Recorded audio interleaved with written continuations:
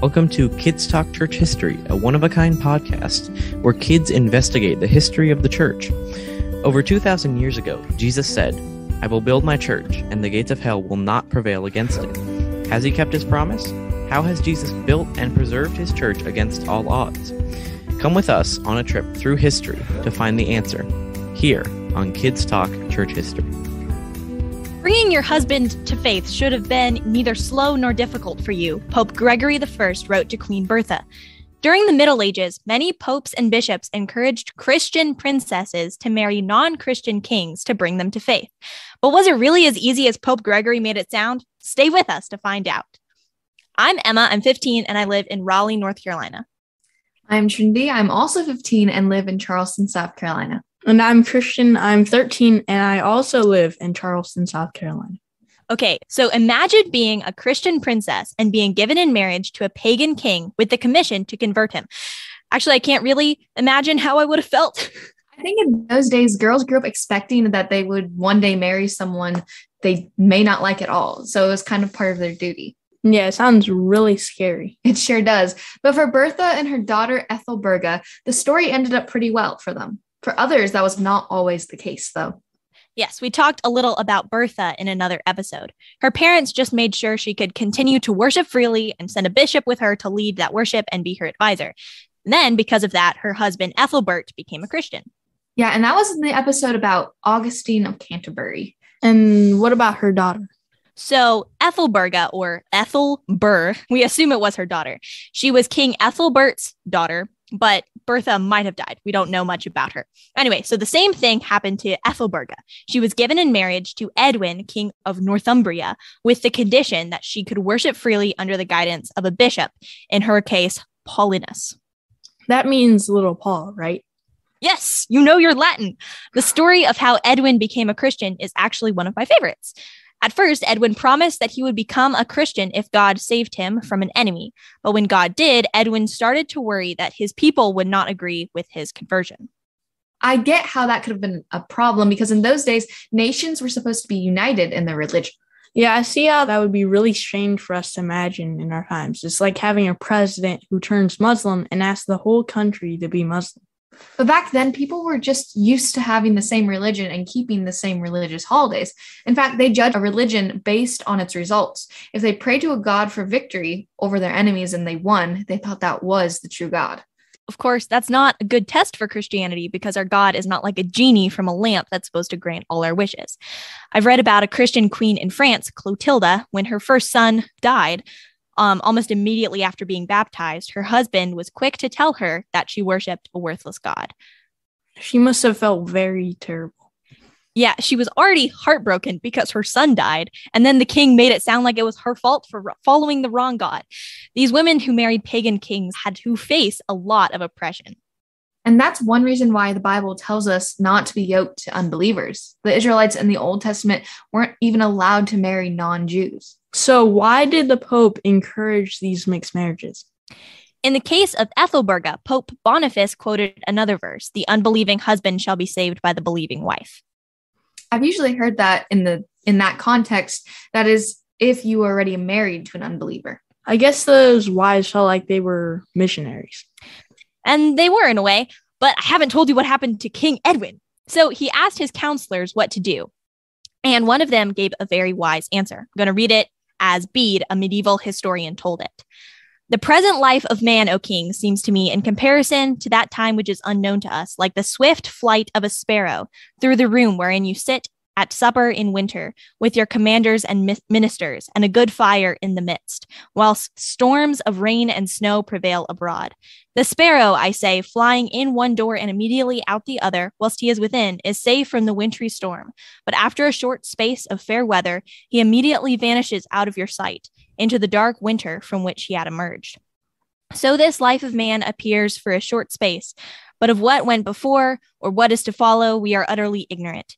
If, therefore, this new doctrine contains something more certain, it seems justly to deserve to be followed. That is a really beautiful quote. I think today we would just say, if you want to do it, just do it. And it's not just based on whether the Christian God gave favors or not. It's based on the fact that only Christianity has true answers about life. Yeah, that's So true. I love that quote. But it is getting late, and we have a wonderful expert, Dr. Eleanor Parker, who can tell us a lot about this fascinating time in history. Dr. Parker is a lecturer in medieval English literature at Brasenose College in Oxford, has written many books, and had a very interesting blog about medieval England. Dr. Parker, thank you so much for joining us. We have a lot of questions for you today. thank you for inviting me. It's great to be here. So, first, can you tell us a little bit about the time in history when Bertha, Ethelberga, and Edwin lived? That was between the 6th and 7th centuries, right? How mm-hmm. widespread was Christianity in England? Yeah, so this is a period when Christianity is almost completely new to England. Um, so this is what we call the early Anglo-Saxon period, when it's before there even was a place called England. Um, the Anglo-Saxons live in these different kind of kingdoms, different parts of England, the different kingdoms, um, and the Anglo-Saxons had come to Britain from uh, like Northern Europe, Germany, and so on that kind of area. And when they came to Britain, they were pagans. They had uh, like a whole range of pagan gods that they worshipped. Um, and they didn't know anything about Christianity. They didn't follow Christianity, um, but Christianity had been spreading across Europe, um, and then their neighbours were Christian. So, like the area that's now France and uh, Ireland was Christian. So, kind of it was you know um, surrounding them, and uh, there was this kind of effort by the Pope to convert the Anglo Saxons. So, we're talking about the time kind of starting around the very end of the sixth century, about the year 600, just before, um, when missionaries start coming from Rome to convert the Anglo-Saxons. Um, and of course, it was a very slow process because you've got all these different kingdoms. They don't all convert at once. It's one after another, and then some are more resistant than others. So it's quite a, a kind of complicated process, and it takes quite a long time. So it seems like the Christian queens like Bertha and Ethelberga played a major role in bringing Christianity to England. Why do we know so little about them? Well, so one thing is we do know kind of more about them than we do about a lot of people in this period, because um, actually, you know, this is a period when uh, there just aren't that many written sources. Is the main reason. Um, partly because before they converted to Christianity, the Anglo-Saxons had an oral culture. They didn't write. They hardly wrote anything down, um, and books and writing came to them only with the coming of Christianity and the missionaries. So before that, everything was passed on by word of mouth.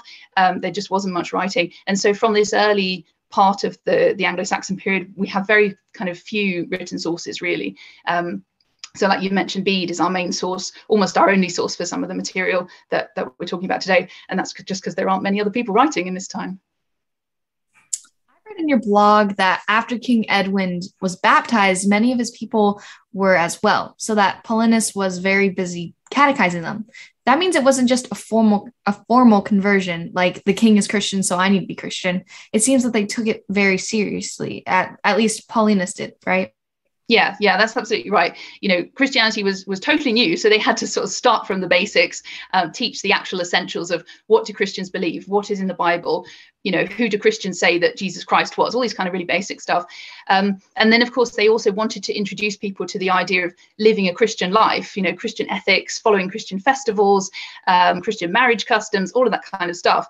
Um, it was it was new it had to be taught to them. And then uh, you know because as i was saying they didn't have you know most people weren't couldn't read or write it all had to be taught orally um, and that kind of makes it quite a long process as well um, Another thing I read in your blog that Edwin's kingdom was so peaceful that, quote, a woman with her newborn babe might walk throughout the island from sea to sea without receiving any harm, end quote. That means those centuries were normally violent times, right? And being able to walk freely and safely was an exception. Do you think that they were more violent in the centuries that came after or before? I think it definitely was a violent time from our point of view, um, partly because all these different Anglo-Saxon kingdoms were quite often at war with each other. so that was one reason it was violent. Um, but kings like Edwin were making an effort to, you know, impose law, to punish wrongdoers, to kind of in, bring peace to their kingdoms.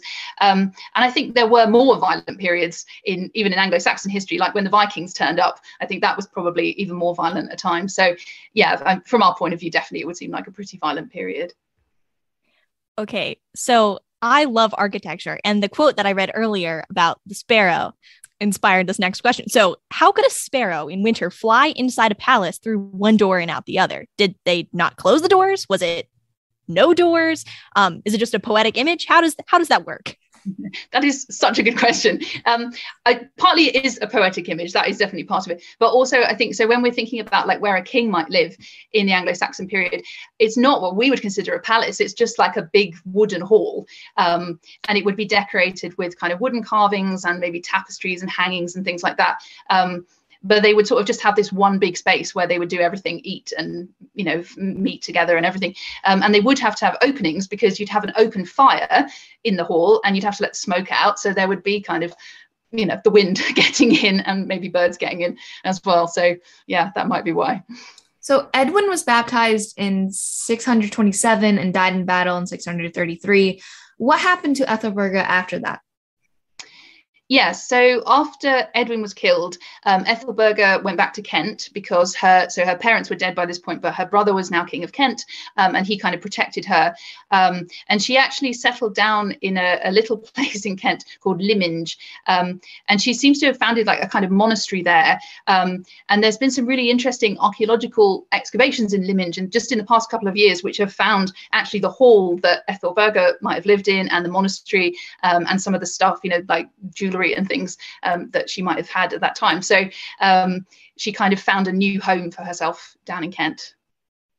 So that sounds like a delightful way to end your life. I mean, other than your husband dying, of course, but um, it seems in general that these queens had pretty rough lives, quite different from the the royal image we get in Disney movies. So, did they leave any writings, these queens, um, that we can read for encouragement or just just anything that they left with their own words? Um, no, sadly not. Um, we we only really know about them kind of at second hand, um, and again, that's kind of like not that unusual for medieval people because so many people didn't read or write. Um, yeah, you're right. They didn't live very easy lives. Definitely, the, you know, it wasn't an easy time to be a royal woman. On your blog, I also saw pictures of statues depicting Ethelbert greeting Bertha after a battle. I know that these statues were made much later, but they portray Ethelbert and Bertha as if they were happy to see each other. Do you think Bertha and Ethelberga might have had happy marriages after all? Yeah, I think it's definitely possible. I mean, obviously they, they didn't have a lot of choice in who they married, but that doesn't necessarily mean that it wasn't a happy marriage. Um, I think definitely uh, Ethelbert, we have a sense that he did have a lot of respect for his wife because he did allow her to go on practicing her faith after their marriage, even when he was still a pagan, he kind of gave her space in his city in Canterbury where she could worship. He allowed her to have, you know, a priest with her. Um, so he clearly kind of respected her religion um, and was willing to kind of, you know, eventually adopt it himself. So I think you can kind of see a, a relationship of maybe mutual respect and and maybe affection as well. It'd be nice to think so, wouldn't it? I have some questions too. I've seen in your blog many writings in Old English. Can you read us something to us in that language, maybe the beginning of John 1? Sure. Okay, so I will read uh, the first few verses of the Gospel of John in Old English. Um, so this is, you know, in the beginning was the Word, and the Word was with God, and so on. So on Frumtha was Word, and that Word was mid Golda, and gold was that Word. That was on Frumen mid Ele thing wherein je wachte thuhine, and nan thing nas je wacht booten him that was leaf they on him you worked was, and that leaf was mana leocht, and that leocht licht on thustrum, and thustru that ye ne almon. The light shone in the darkness, and the darkness did not overcome it. That sounds very beautiful. And I had another question. Did Edwin and Ethelberga have a son who later became king? No, so they did have a son, but their son died when he was still quite young. Um, they did have a daughter who uh, lived to adulthood. Her name was Eanfled, um, and she went back to Northumbria and she became a queen as well, like her mother. Um, and then after the end of her marriage, she also went into a religious community um, at Whitby Abbey in Yorkshire. So she had quite a similar life to her mother, in fact. So we have talked about Bertha and Ethelberga, but there were many other medieval queens like them. Do you have a favorite? yeah, there are quite a lot of them. Um, it's kind of interesting because actually, in this first uh, period, you know, the conversion of the Anglo Saxons to Christianity, um, medieval queens seem to have been much more keen on adopting Christianity than the kings. Kings like Edwin were a bit more skeptical. Um, so there's quite a lot of interesting medieval women from this period. Um, I my favorite is probably a woman called uh, Etheldreda, um, or sometimes called Audrey or Ethelthryth, um, and she was from East Anglia. She was based at, at Ely. Um, and she's from the kind of generation after Ethelberga. Um, she was also uh, married to to a king, actually twice. She was married to, to different kings, um, but then what she really wanted was to be a nun and an abbess. So she founded a monastery at Ely, um, and it was that's an interesting one because she led it with her sisters, and then her sisters' daughters after them, and their granddaughters after them. So it's a kind of dynasty of um, of women at Ely there. Um, and Ely has a, an absolutely beautiful medieval cathedral, so that's one reason that I really like like the story of Ely. And I was wondering, since there has been so many like Ethel Ethelberger names and the other name that you're saying, is there any meaning to that name? Yeah, um, and it makes a lot of sense. So Ethel means noble in Old English. So like obviously you'd call kings and queens Ethel. okay. Uh, so thank you so much for these answers. I'm learning a lot. At this point, we have a couple of questions we asked our guests. First, how did you become interested in church history and what do you do in your free time? um, so my background is in literature more than in history. So originally I was studying uh, English literature, and when I came to university, I started studying uh, medieval literature, so Anglo-Saxon literature, but also things like Chaucer and, and later medieval stuff. Um, and I just kind of fell in love with it. So that's what I do now. That's what I teach. That's what I write about. Um, and then, so to understand the literature, you really need to know about the, the church history as well, because they're just so closely related uh, in the medieval period. So the two things kind of really go together. Um, and as for what I do in my free time, uh, so I live in a, a really, uh, I live in Oxfordshire, in a really kind of beautiful um, countryside area near the River Thames. Um, so most of what I do in my free time is kind of wander by the river and, and explore the countryside and, and that kind of thing. So. Dr. Parker, we are so thankful that you decided to spend this time with us and share your knowledge. It's always a pleasure to learn from you. But we'll say goodbye for now. Before we go, we want to, just remind our listeners if you have a question or comment, you can email it to questions at kidstalkchurchhistory.org and enter to win a copy of Simonetta Carr's most recent book, Church History, which was named Best Children's Nonfiction by World Magazine. And on our website, you will also find past episodes, special offers, news, recommended readings, and more. And don't forget to tell your friends where they can find us. In partnership with the Alliance of Confessing Evangelicals and on behalf of my co hosts, Trinity and Christian, I'm Emma. Thank you for listening to Kids Talk Church History.